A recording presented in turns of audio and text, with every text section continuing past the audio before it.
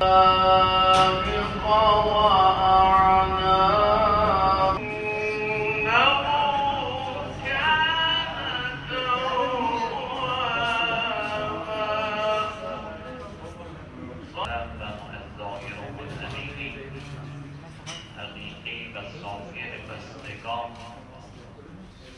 لحظه بشینن اونجا استراحت کنید یارم از چی؟ به چنین گوشه مزران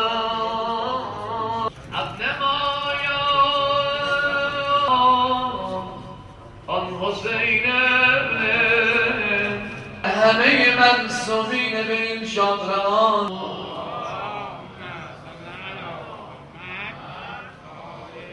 و خدمت جناب آقای از دوست عزیز و مکرمم جناب آقای دکتر روح الامینی همسر مکرمه و صبور و فرزندان متدین و شایسته او. منشأ اختلافات جامعه نقش حکومتی ایفا ننمایند. و انزل معهم الکتاب بالحق و حوزه های علمیه نماد این مباحثه و بحث و اختلاف نظر است. دانشگاه تجسم این تفکر برآمده از رشد علمی و عقلانی است. این دستور دیدم شورای عالی امنیت ملی چه حرکتی را آغاز کرد.